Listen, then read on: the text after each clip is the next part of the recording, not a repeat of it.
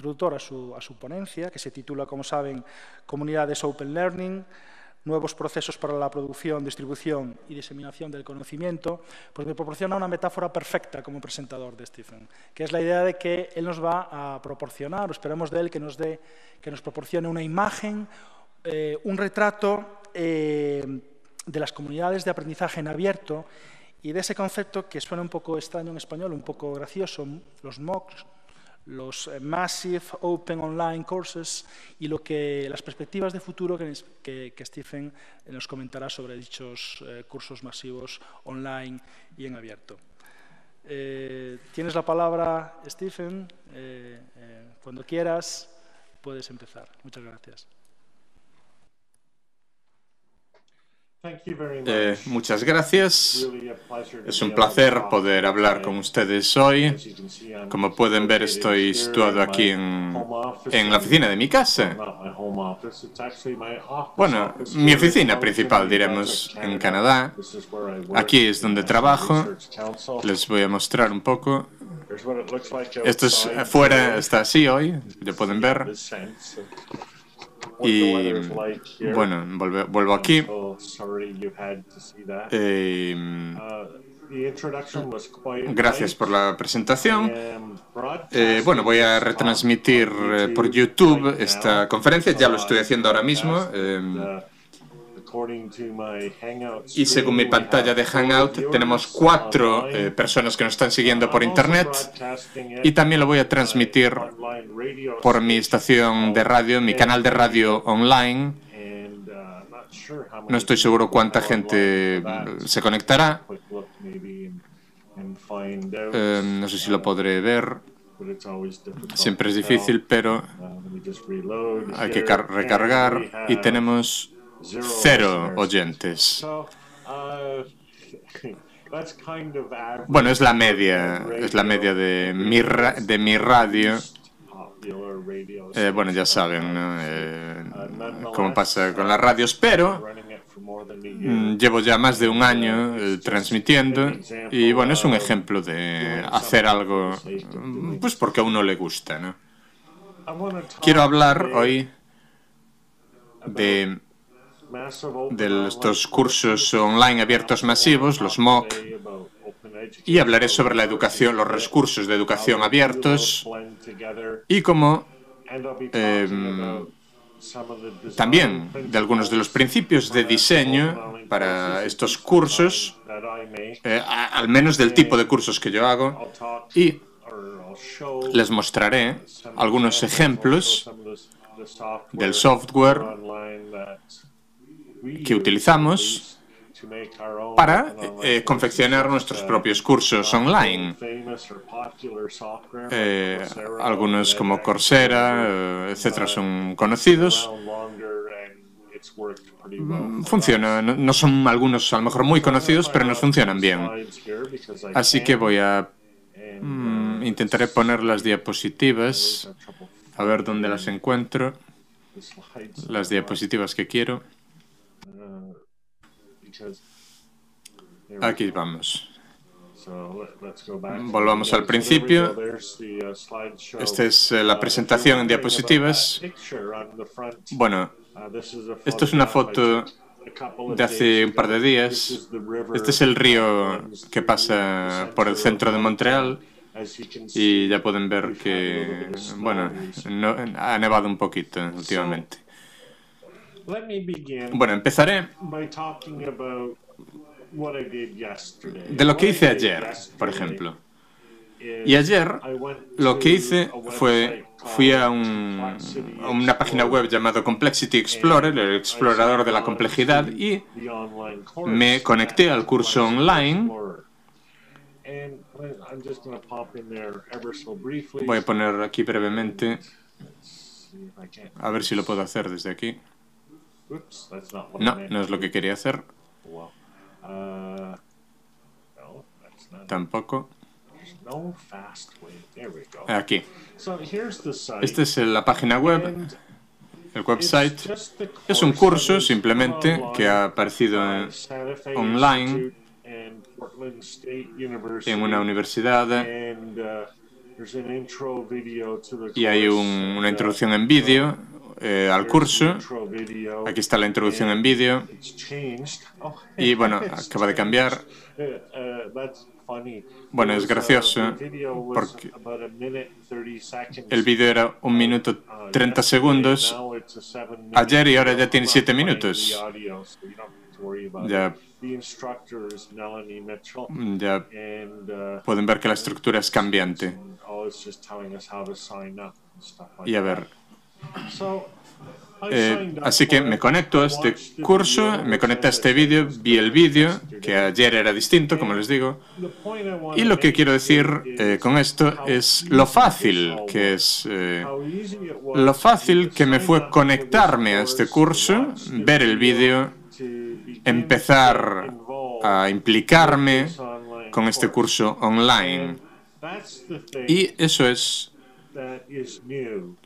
una la, novedad que ofrecen estos MOOC.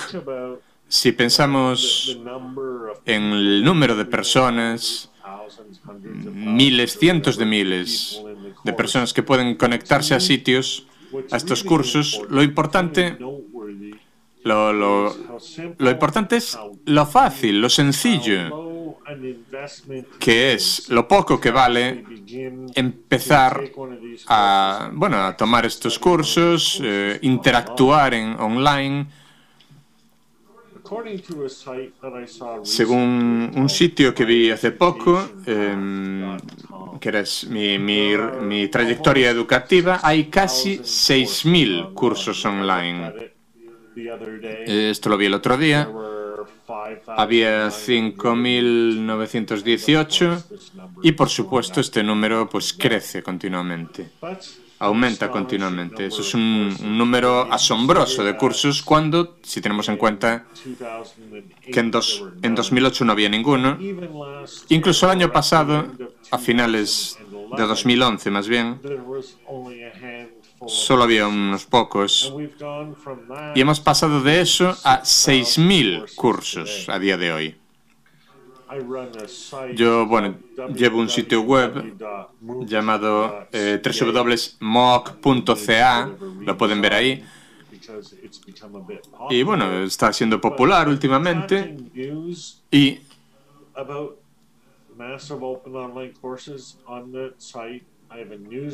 y bueno, yo recibo un boletín, eh, también tengo un boletín que también está gozando de una buena popularidad. Y trabajo con mi con esta página, My Education Path, para eh, publicar mis cursos y buscar otros cursos.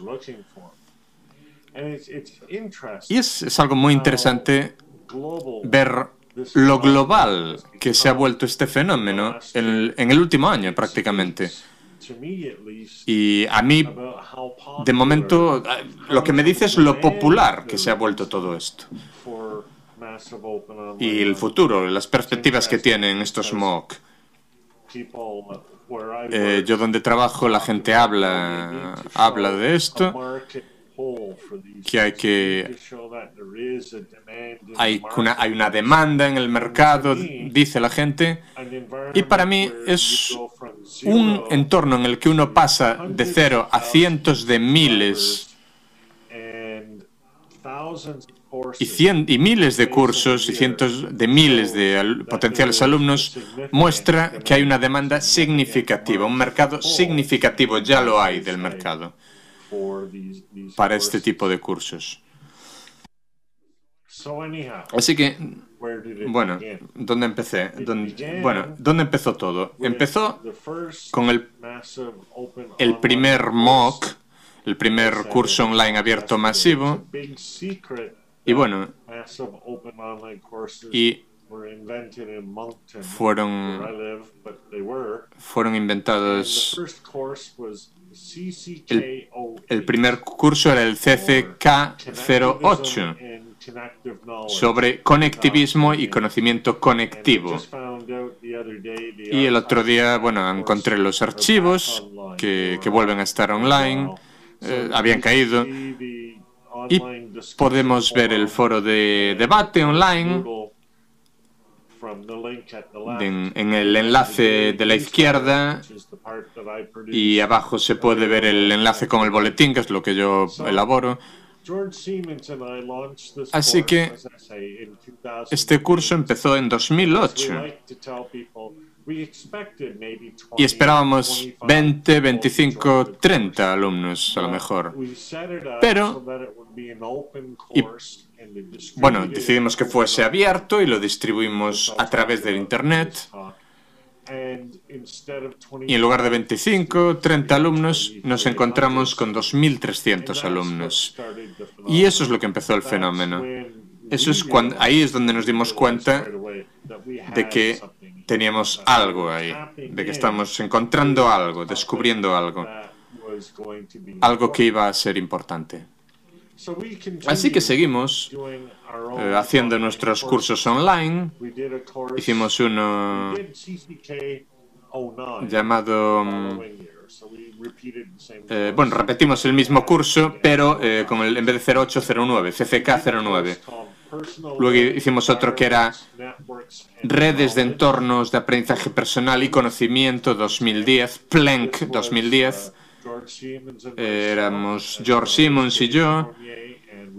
Y, bueno, y también hicimos un curso llamado Change, Cambio, Cambio 11, que empezamos en 2011 y acabó en 2012, que bueno, un curso pueden ver aquí Em, una de las cosas que en la semana, llegó a la semana 35, una de las cosas que aprendimos fue que en 35 semanas es demasiado para un curso online abierto. Pero aún así tuvimos gente que participó desde el principio hasta el final. Y al final tuvimos unos 2.800 alumnos. También hicimos otro curso en 2012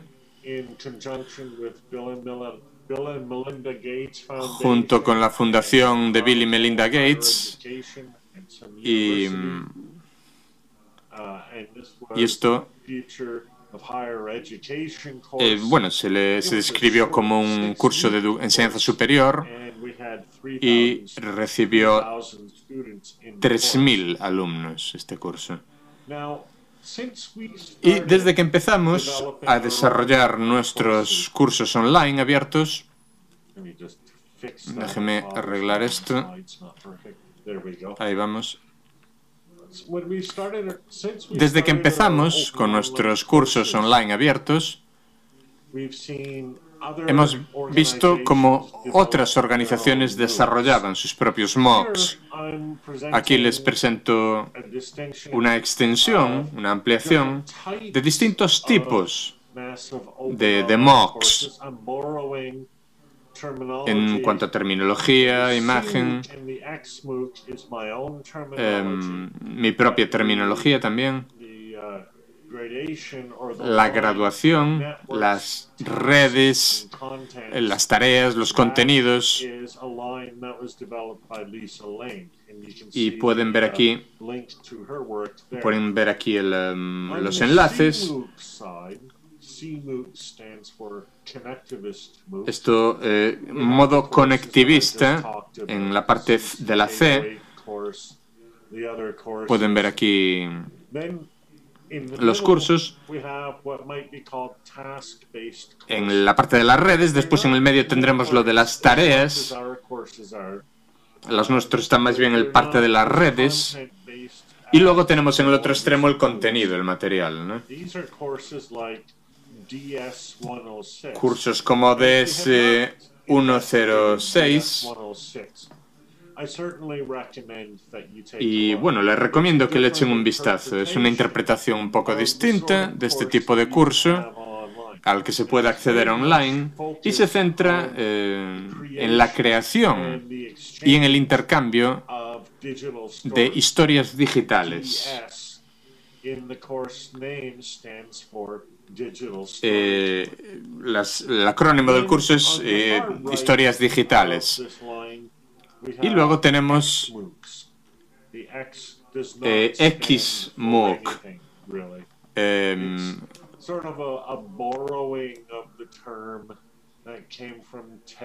que es bueno, remontándonos al, bueno, al término, a las extensiones que tenían eh, muchos otros formatos, quizás extra podríamos decir, que hace referencia a extra, pero en los XMOOCs son los MOOCs que se crearon en, lo último, en el último año más o menos por unas grandes universidades estadounidenses y con grandes plataformas online abiertas como Coursera y otras que y como sugiere la, esta lista, se basan sobre todo en el contenido. Hay un cierto cuerpo de contenido que quieren que el alumnado recuerde. y tratan de diversos modos facilitar que el alumnado se quede con ese contenido, recuerde ese material los, los creados en la Academia Khan, donde, donde muchos expertos obtienen su inspiración y son básicamente cursos que consisten en bueno, ver vídeos, de bueno contenido intenso y la gente bueno pues encuentra que son útiles. Y bueno la alternativa siempre había sido o esto o nada. Y bueno pues eh, para mucha gente que no tiene otra cosa eh, funciona ayuda a la gente a aprender estos eh, las materias que las disciplinas que abordan. Y a medida que va pasando el tiempo con la inteligencia artificial por ejemplo la producción de vídeo ha mejorado también. Eh, ha tenido, bueno, tiene material con mayores recursos, ha mejorado los soportes. Y había el otro día precisamente un curso ofrecido por Coursera que tuvo que ser cancelado. La estructura intentó utilizar documentos de Google y que la gente formase grupos, pero no funcionó. Lo que ocurrió es que aparecieron 55.000 personas que intentaron editar el mismo documento al mismo tiempo y eso no, no funcionó. Pero eh, eso es algo que aprendimos ya al principio, que cuando hay miles de personas en un curso, cada aspecto del curso debe de estar automatizado. No se puede tener parte del curso que requiere eh, intervención humana eh, y que pueda ser eh, modificada de esta manera. Porque incluso la tarea más pequeña, si lo tienen que hacer 50.000 personas, eh, bueno, pues llevaría muchísimo tiempo. Pero al mismo tiempo, imagínense cuánto le llevaría a, un, a, la persona que proporciona el curso explicarle a cada uno de los 55.000 personas cómo se hace. Eh, todo lo que va a requerir em, lo que puede propiciar algún fallo individual, pues va a crear un cuello de botella en, el curso. Entonces, lo que hemos hecho es crear MOOCs conectivistas, y aquí pueden ver un diagrama eh, proporcionado por un alumno de uno de los cursos, del curso CCK 08, y esto es como nosotros lo habíamos configurado. Y este es el, al principio del, del, curso. Y podemos ver en este diagrama, bueno, elementos que son nuevos. Probablemente sea demasiado difícil leer los, los cuadritos más pequeños, pero pueden ver el diagrama si acceden a las diapositivas desde mi, desde mi website, al final de la presentación les daré la, dirección. Em, cuando empezamos eh, este curso, CCK08, empezamos Google para, eh, bueno, como apoyo de la forma de distribución del curso, utilizamos una wiki para soportar la administración, para dar soporte a la administración y para proporcionar enlaces a los materiales utilizados y eh, bueno, con ciertos recursos para eh, facilitar la, publicidad de los eventos online. Utilizamos también Google Groups para dar soporte a los debates adicionales online, también grupos de Facebook, en los muros, las fotografías, etcétera, en los perfiles, para la gente que quería participar desde Facebook. Utilizamos Bloglines y Google Reader también. Y lo que hicimos fue pedir a cada alumno en el curso que crease su propio blog o su propia página web. Y de los 2.300 participantes, 170 personas crearon su propio blog y por lo tanto su propia página web. Y eh, bueno, fuimos recogiendo los RSS y utilizamos un programa llamado Grasshopper, y que les hablaré dentro de poco, para agregar, para unir los contenidos de esos blogs individuales. Utilizamos Bloglines o Google Readers para leer esos feeds o también la gente podía suscribirse a boletines diarios por, por email para entrar en los debates que se estaban creando por parte de los participantes. Estos boletines, bueno, como muestra el estudio, el aspecto más popular del curso, los boletines, los newsletters. También utilizamos un tipo de agregador RSS para crear una pizarra online una, y animamos a la gente a que cargase material, a que utilizase el CCK08 en, 08 en Flickr, en Delicious o en SlideShare o en otra plataforma. Y bueno, ya la idea era que mm, no fuese una única, única página web o sitio web donde estuviese la actividad, sino que fuésemos también, ni que fuésemos tampoco contenidos uno a uno, sino que lo hiciésemos de manera distributiva. Y había un conjunto de recursos que pudiesen ser accesibles online desde cualquier momento, desde cualquier sitio. Y utilizamos estos recursos para conectar. No intentamos presentar únicamente una serie de contenido, sino que intentamos crear y conectar y hacer accesible toda una red de contenidos. Y lo interesante, el primer comentario de la gente era, bueno, decía, hay demasiado contenido. Y nosotros dijimos, sí, estamos de acuerdo, hay demasiado, es cierto, hay demasiado contenido. Ni una persona individual no podrá leer todo ese contenido. De esta forma,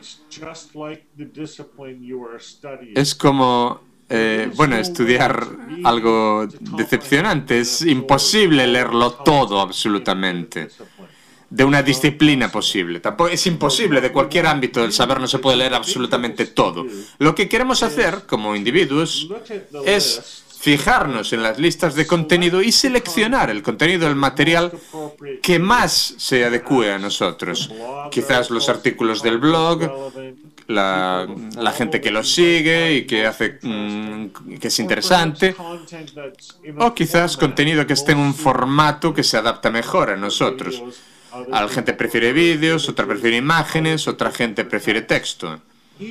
Cada persona en el curso seleccionaba su propio eh, subconjunto de material y así eh, alentábamos el diálogo, el debate y el intercambio de ideas para facilitar el diálogo y la conversación.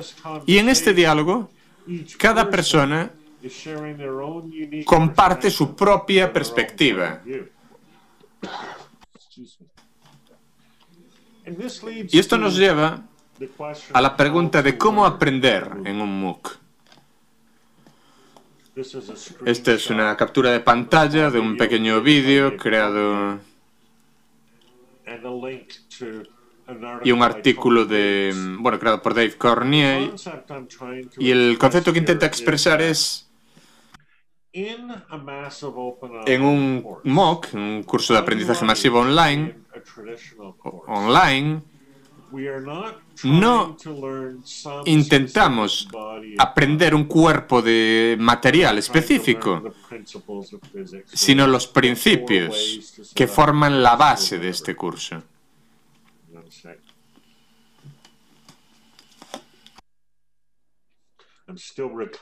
Estoy bueno, me estoy recuperando de un catarro, un catarrazo que tuve estos días, pero bueno. Em,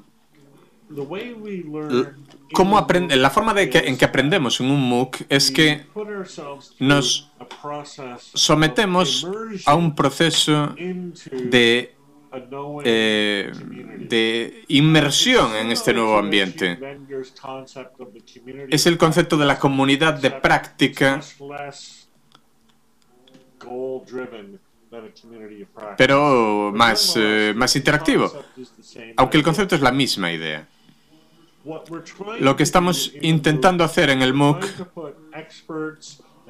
es, eh, bueno, tener la participación de expertos y de alumnos y de todo el mundo en el mismo entorno.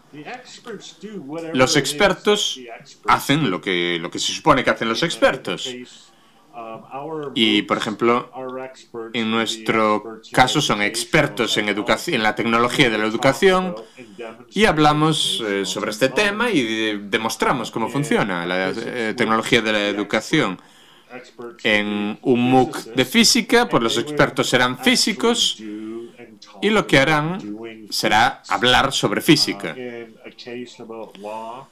Y eh, en algo sobre el derecho, los expertos serán abogados, jueces y, por supuesto, se participará en debates sobre eh, casos reales judiciales. Y lo que quiero decir aquí es que al meternos dentro de esta comunidad podemos ver y seguir a los expertos y ver cómo participan y participar también en debates eh, acerca de estos temas. Y hablan de estos temas haciendo este trabajo, eh, situándose en este entorno y, sumergiéndonos en este proceso. Esto no significa que nunca estudiemos material ni contenido, ya que esta es la única forma del mundo en que se puede aprender. Hay que estudiar, obviamente. Pero lo que intento hacer es crear el ambiente que propicie soportar, dar soporte a este tipo de, aprendizaje, con la participación de todos estos eh, integrantes.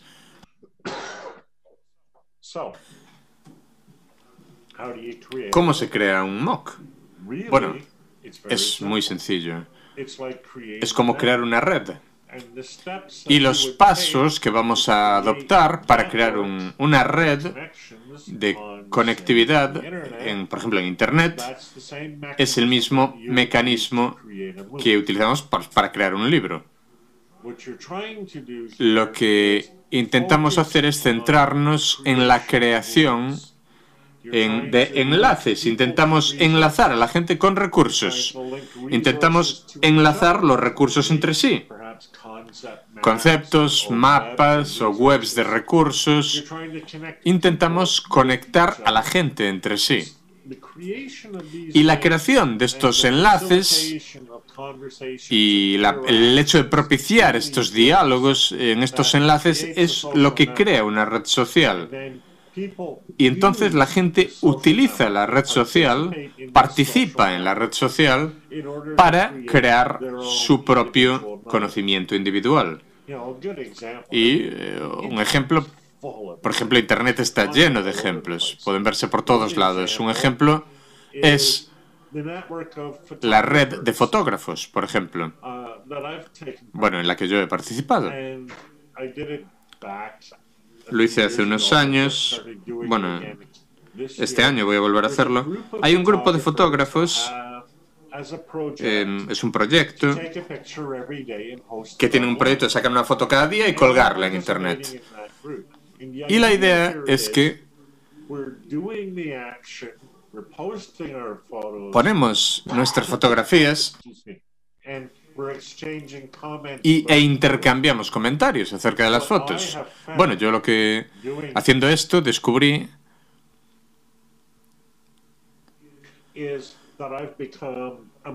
que me he vuelto mucho mejor fotógrafo, porque no solo hago mis propias fotografías, eh,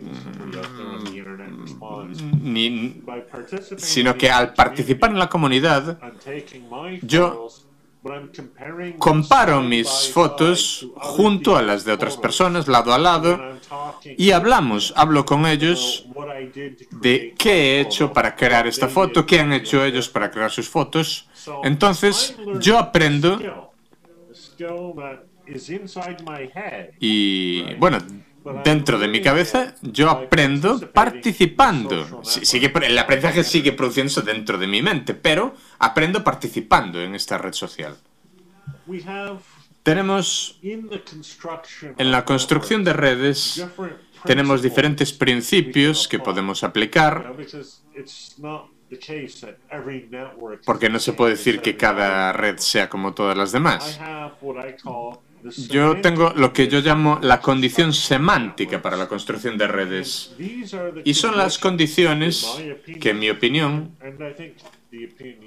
y creo que una opinión bastante fundada, que eh, son las condiciones para un diálogo constructivo. Y estas condiciones son la autonomía, la diversidad, el carácter abierto, la interactividad. Y es interesante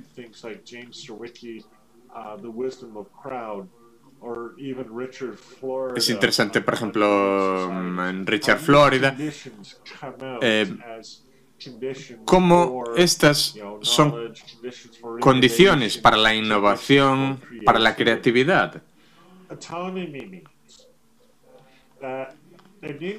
Una persona se fija sus propios objetivos, sus propias metas, sus propias prioridades y toma sus propias decisiones acerca del aprendizaje. Es un concepto de aprendizaje mm, directo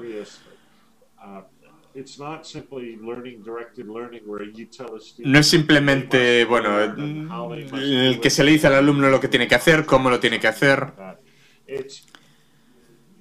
La idea aquí es que presentamos los recursos a la gente, creamos un entorno en el que la gente tome sus propias decisiones dentro de ese ambiente, dentro de ese entorno.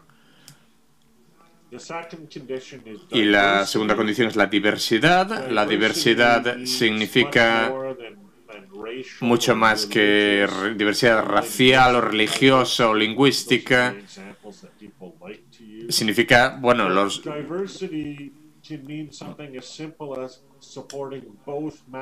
Puede significar, por ejemplo, dar soporte a Macintosh y a Linux. Eso es diversidad. Y también a una BlackBerry. Eso es diversidad. Diversidad significa dar soporte a diversos estilos de aprendizaje, diversas preferencias. Em, por ejemplo, vídeo, imágenes, eso es diversidad también. Y luego eh, yo ofrezco un, em, un feed de radio o de vídeo eso es dar soporte a la diversidad. Y también es imaginar la diversidad de objetivos en el que la gente tiene diversidad de experiencias y el empleo de la diversidad es un mecanismo. En lugar de que todo el mundo haga lo mismo, todo el mundo aprenderá cosas distintas. Y la tercera condición es el carácter abierto. Es una condición para cualquier red que queramos que funcione. Disculpen porque tengo problemas con eh, la garganta. El carácter abierto significa estar abiertos a nuevos miembros, a nuevas ideas, puntos de vista y también a que la gente se marche si quiere. La gente puede marcharse, salir de la red si no está participando cuando quiera. La idea es que haya una dinámica fluida, un entorno cambiante. Eh, carácter abierto significa, eh, bueno, que no haya muros en el curso. Y lo que eso supone es, no sabemos de verdad si la gente está, una persona está en el curso o no. Hay diferentes tipos de, de, miembros. pero sí que hay un pequeño núcleo de gente que participa activamente en el curso, pero también habrá gente alrededor de ese núcleo que participa con menor frecuencia o con menor intensidad. Incluso gente alrededor de ese alrededor, que pueda leer el boletín a lo mejor, y fuera, aún más afuera de eso, otra capa, bueno, gente que podríamos llamar, digamos, mirones, que están, pero están mirando, no están contribuyendo, pero sí están interesados en el curso y pueden seguir partes. La gente entra y sale de estas esferas, de estas capas de participación, participa más o menos dependiendo de su disponibilidad y del interés que tengan por el curso. Y la última condición es interactividad. Interactividad, o como yo digo a veces, interacción, compromiso, cooperación. Es algo que utilizo mucho en este contexto.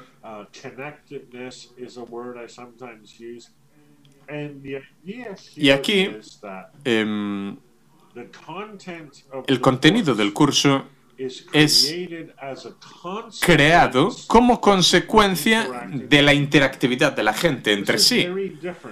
Es muy distinto de la representación tradicional de contenido. En la representación tradicional de contenido y de los cursos es un contenido de un libro de texto o de la clase magistral que se lleva ese contenido y se intenta transferir a la gente. En nuestra versión de un curso, el contenido, por el contrario, se crea a través de los participantes durante el curso, como resultado de que cada uno tiene su propia experiencia, su propia perspectiva individual. Y en el intercambio de estas perspectivas, el conocimiento, por lo tanto, no se transmite, sino que es emergente, se desarrolla como resultado o como consecuencia de estas interacciones, y no es el contenido.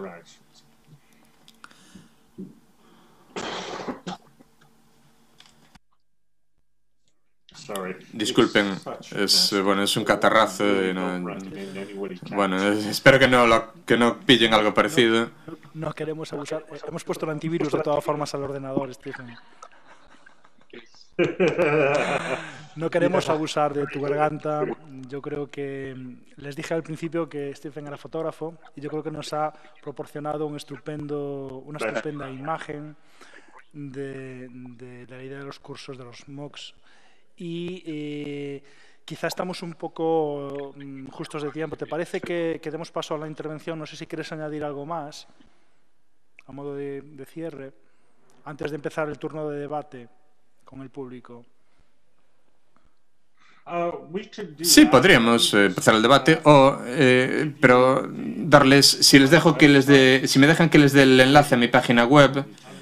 Eh, sí, esperen un segundo. Aquí pueden verlo. El enlace, no sé si lo pueden ver en la pantalla, debería estar ahí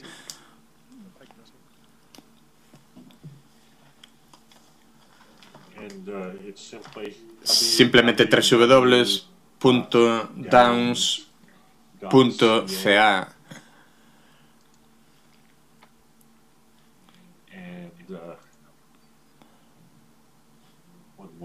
Eh, una cosa más.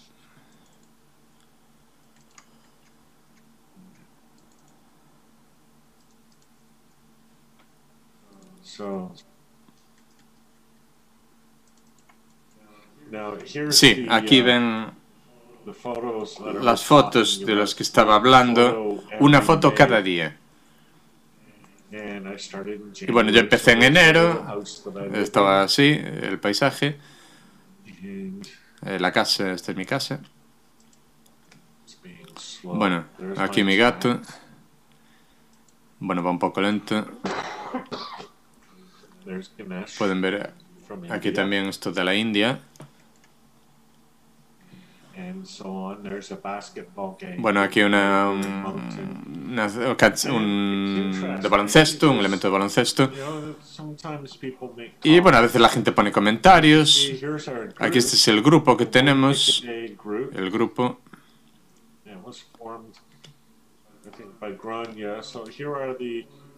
Sí, las fotografías aportadas por todos los miembros.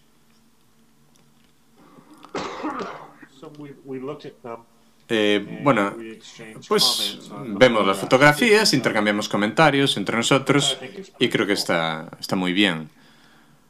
Bueno, una, una cosa que no les comenté al principio es que Stephen es un, aparte de fotógrafo, es jugador casi casi profesional de dardos.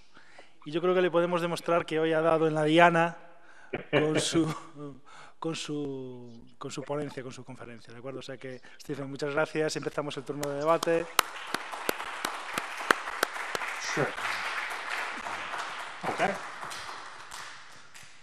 Muy bien.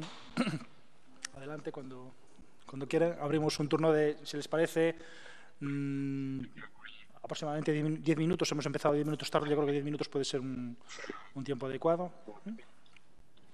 Bien, ¿alguna cuestión?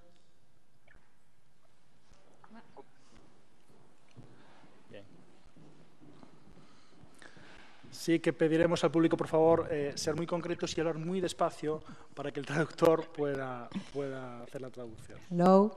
Good afternoon for us. Buenas tardes, muchas gracias por su presentación y por estar aquí con nosotros. Em, Hablaré en castellano para que luego sea traducida um, mi intervención. Em, supongo que usted sabe la corriente crítica que hay alrededor de las propuestas de, los MOOCs.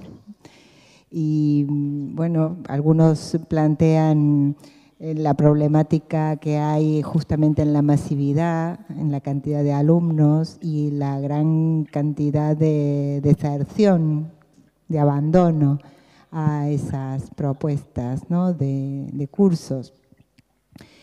Mm, me gustaría preguntar qué evaluación hacen de, vuestra propuesta y si tienen un estudio o un análisis, si han realizado algún tipo de trabajo sobre el perfil del, de la persona que se inscribe en los MOOCs, ¿no? O sea, mm, eh, bueno, qué perfil, características, mm, eh, o qué condiciones tiene que tener un sujeto para tener una posibilidad de acceder a, este curso y, sostenerse dentro del curso.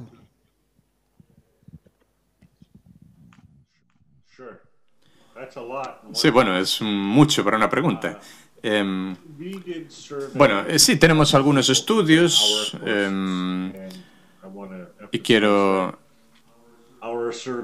Nuestros estudios solo valen para nuestros propios cursos, no son transferibles a otros cursos, que serían muy diferentes. Pero la gente que va a nuestros cursos tiene ser, a ser mayores, tienden a ser más educados, muchos ya estaban jubilados, profesionales también. Eh, normalmente venían de Norteamérica o de Europa. Sí teníamos eh, algunos representantes más jóvenes y de gente de todo el mundo, pero eran minoría. Y como otros MOOCs, teníamos, tenemos un número significativo de gente que se apuntaba al principio y que luego desaparecía. Así que esto, bueno, el índice de abandono era sustancial. Pero en el curso esperamos que haya un núcleo de 15-20% que del número original de inscritos que permanezca en el curso hasta el final. Ya lo esperábamos. Pero bueno, es, es difícil de medir, eh, y, aunque hay diferentes parámetros. Pero entre el 15 y el 20%, yo creo que esa cifra la tengo del número de blogs que se crearon. La obtengo a partir del número de blogs creados o de websites que se crearon y de la gente colgó online y de material que fue metiendo y la gente que fue mirando, accediendo al material en el día a día. Por ejemplo, en nuestro primer curso teníamos 2.500 participantes y al final eh, teníamos 320 blogs. Así que eso me da la cifra de, bueno, de la gente que participa habitualmente y que contribuye. Por otra parte, otra forma de medir la participación es eh, si se suscribían al boletín y si se mantenían la suscripción al boletín. Eso quiere decir que lo leían, que probablemente lo leían. Y estas cifras son muy coherentes, hay una consistencia en estas cifras. Es como en el curso CFSH teníamos había mil personas que se habían suscrito al boletín y que mantuvieron la suscripción. Mm, así que es probable que también puede ser que lo reciban y que luego no lo lean, pero bueno, es un indicador. Y, y respecto a los abandonos, abandonar eh, de un MOOC, un MOOC no es lo mismo que dejar o abandonar un curso más tradicional. Y eso es algo en lo que quiero hacer hincapié. Eh, quise hacer hincapié ya al principio.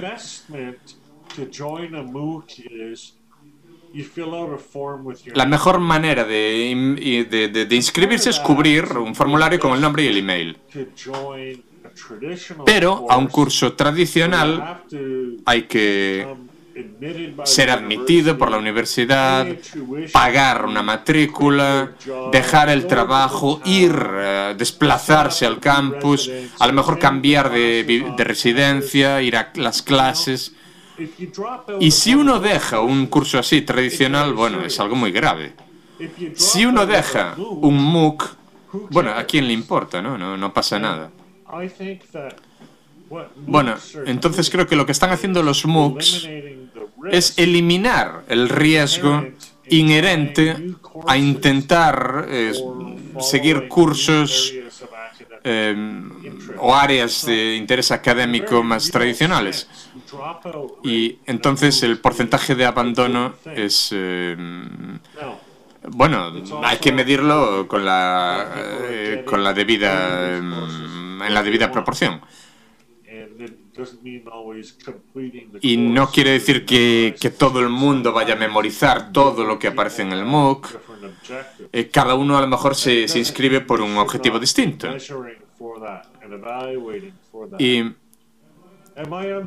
eh, yo lo que observo es que hay, insisto, un núcleo de participantes que se mantiene en el curso y que lo va siguiendo y que le ha resultado útil y eh, en el cual han influido también.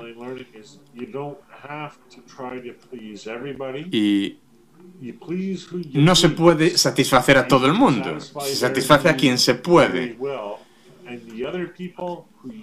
Y luego otra gente, pues que no le interesa el curso, pues pasa a otro. Eso es la facilidad que tiene, que tampoco pasa nada, ¿no?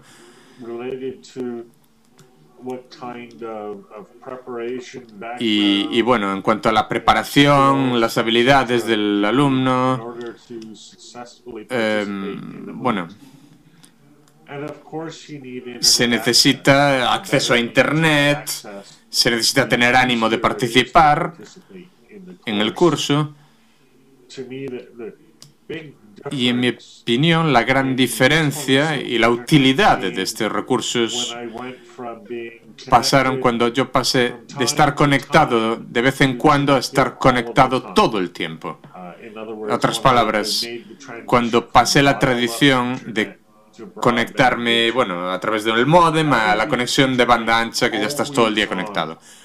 Y en el curso significa, bueno, eh, tienes a lo mejor 5 o 10 minutos libres, entre otras cosas, y los dedicas al curso, ¿no? No es una actividad que requiera esta dedicación completa si uno solo puede acceder eh, a Internet de vez en cuando. Y bueno, tener banda ancha es importante para poder usar las características multimedia, de vídeo, de audio, etc. Y también se puede poder transmitir, se debe poder transmitir. Así que, bueno, la gente que no tenga una conexión muy buena de Internet no es el alumno más idóneo, que podrá beneficiarse al máximo, pero aún así podrá seguirlo.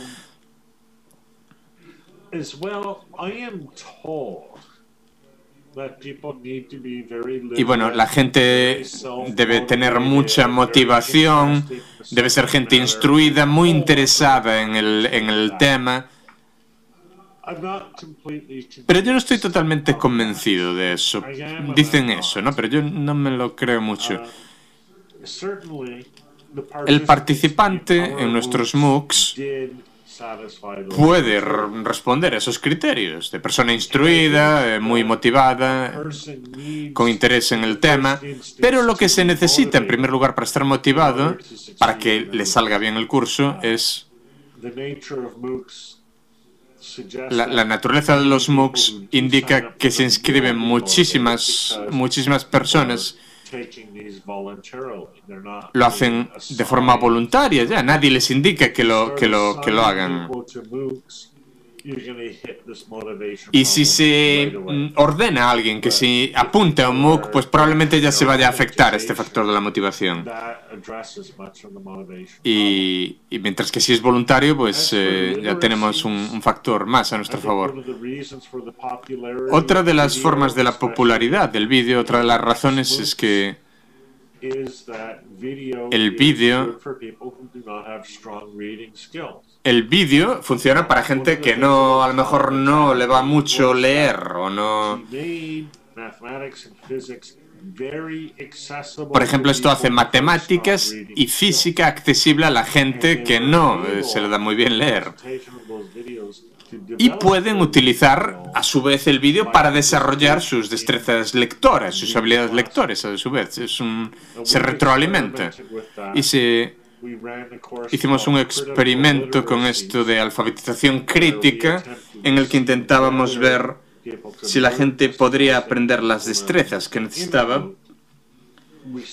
Y todavía no sabemos la respuesta, no llegamos a una conclusión clara, pero creo que las tecnologías de Internet pueden, a día de hoy, servir para impulsar a la gente hacia unas capacidades más altas.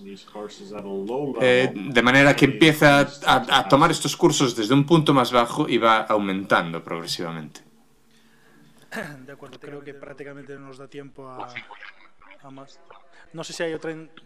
Si puede ser muy rápido, por favor, si os pediría brevedad. ¿Sí? Una, última intervención, porque estamos ya casi fuera de tiempo, pero sí creo que... Sí, muchas gracias. Eh, mi pregunta tiene que ver con la implicación mm, de la comunidad gracias al desarrollo de los MOOCs. ¿Hasta qué punto los eh, miles de personas mm, que se involucran en un MOOC a su vez están haciendo que se involucren organizaciones locales, asociaciones, eh, grupos que se preocupan por la comunidad, organizaciones no gubernamentales, etcétera. Es la dimensión social de vuestro trabajo, no solo la, individual que hace que eh, los sujetos mm, pues, se unan voluntariamente y aprendan más cosas. Gracias. Sí. Bueno, es una buena pregunta. Bueno, observamos, sobre todo en el primero y en los siguientes, también observamos que la gente tiende a unirse, a formar grupos, clústeres. En el curso CCK08, por ejemplo, eh, había gente que eh, entraba a través de Second Life, de su comunidad de Second Life. Y otra gente escribía a través de Twitter con el mismo hashtag o en Facebook. Y estos grupos en gran medida están autoorganizados. Y la forma en que les damos apoyo, soporte, es les decimos en nuestro boletín y en otras publicaciones, los animamos a crear grupos. Y si crean un grupo, compártanlo y consiguen nuevos miembros, díganos.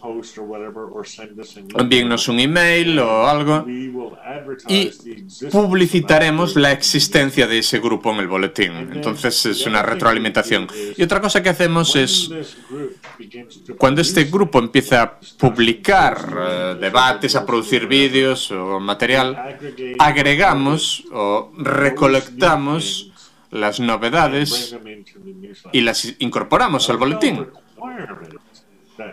Y hay gran parte de material, a veces lo comparten, pero a veces no. Pero la posibilidad de que la gente forme sus propios grupos y siendo parte oficial del curso al mismo tiempo nos parece que es algo importante. Pero a alguna gente le gusta y a otra no. alguna gente se incorpora a grupos, otra no. Y, debe ser así, además.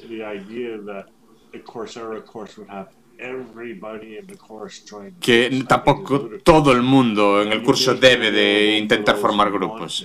Sería... No, no es exigible. Para más, desgraciadamente. Creo que podremos seguir charlando contigo toda la tarde, pero el, Congreso tiene sus exigencias en tiempo.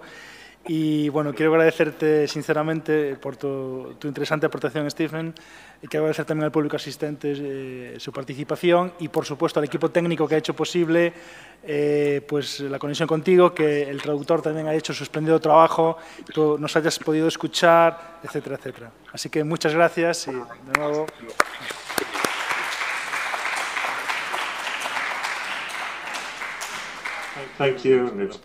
Muchas gracias. Ha sido un placer estar con todos vosotros.